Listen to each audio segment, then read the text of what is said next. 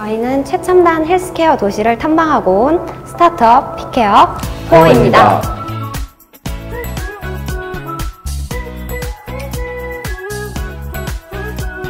팀에서 엔지니어를 맡고 있는 양혜빈입니다. 단백질 괴물을 맡고 있는 공동대표 김운현입니다. 벌크업을 맡고 있는 공동대표 근돼 김요섭입니다. 기획과 마케팅을 맡은 윤여홍입니다.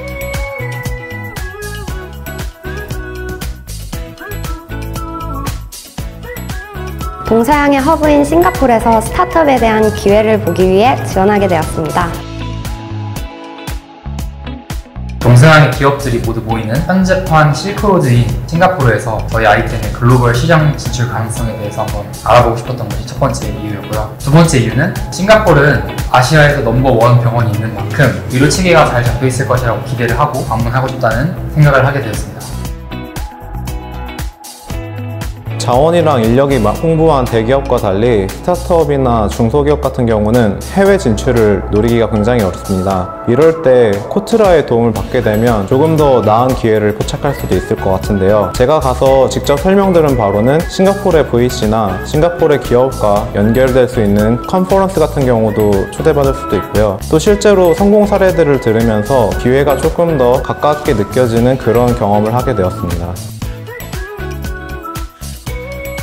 코트라와 마찬가지로 싱가포르 시장에 대한 이해를 높이기 위해 방문하게 되었습니다. 싱가포르에서 성공한 사람이나 기업들이 어떤 특징을 가지고 있는지 보고 또 정치 사회적으로 어떤 사전적 이해가 필요한지에 대한 조언도 들을 수 있었습니다. 특히 언어에 대한 이해가 중요한 것을 다시 한번 느낄 수 있었습니다. 자동 번역이 계속 진화하고 있지만 실제 그 언어를 구사하는 것 또한 굉장히 중요하다는 것을 많이 느끼게 되는 계기가 되었습니다.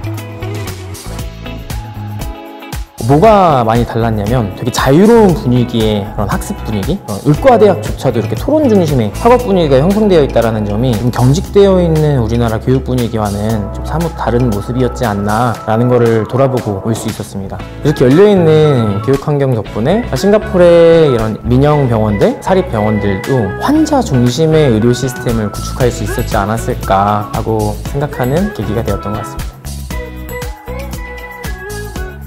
아시아 넘버원 병원으로서 어떤 선진 의료 시스템을 구축하고 있을지가 궁금했기 때문에 방문을 했습니다. 우리나라 병원들에 비해서 간호사들에게 주어진 권리가 조금 더 많았다는 점이 굉장히 인상 깊었습니다. 또한 병원 내부의 많은 시스템들이 모바일 앱으로 진행된다는 점이 굉장히 인상 깊었던 부분입니다. 그러나 이런 인상적이고 선진적인 시스템 외에도 허점도 굉장히 많아 보였습니다. 병원 내부의 EMR 시스템이 굉장히 구체적으로 이루어지지 못하다는 점이 문제가 된다는 말씀을 들었는데요. 이런 부분이 빠르게 발전해온 의료 시스템에서 나타난 허점이라고 생각을 했습니다. 이제 빠르게 발전하는 것도 좋지만 그 내부적으로 인프라적인 시스템들도 같이 다져져야 더더욱 탄탄한 헬스케어 시스템을 구축할 수 있다는 것을 알게 되었습니다. 직접 가기 전에는 세계적인 지표가 싱가포르이 우리가 훨씬 앞서 있다라는 그런 사실 때문에 우리가 배울 것만 있지 않을까라고 생각을 했는데 직접 가보니 우리가 오히려 가르쳐 줄 수 있는 부분도 많았다는 걸 느꼈고 우리도 할 수 있겠구나 우리도 국제 무대에서 정말 훌륭한 헬스케어 시스템을 만들어낼 수 있겠구나라는 걸 많이 느끼고 돌아왔습니다.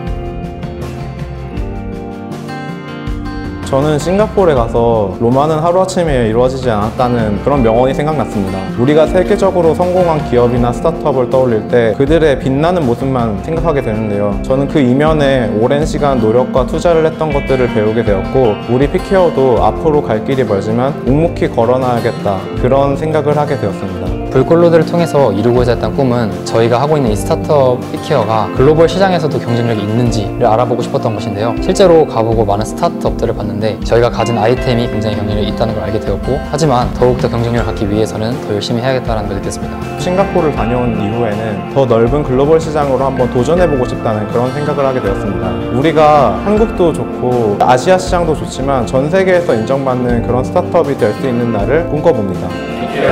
파이팅!